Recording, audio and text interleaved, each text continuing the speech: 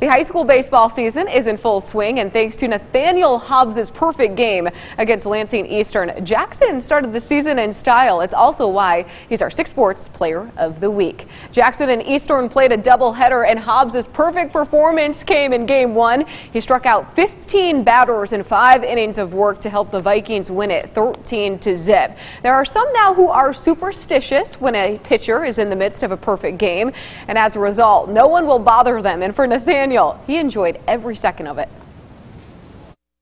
It was it was cool. I haven't experienced it before. Um, you know, it's, it's superstitious in the dugout. You know, don't say nothing. But um, it was fun. You know, I got to thank the catcher. You know, he caught a great game back there. Didn't let any balls drop. But it was great. You don't talk about it. You don't talk about it. You don't mention it. You don't. You leave him alone. You let him do his thing. Stay in his mindset. But once it happened, you're really happy for him. But then you realize, crap, we got another game to play, and let's keep playing well. You know, just hopefully we can keep that same approach. That's the challenge.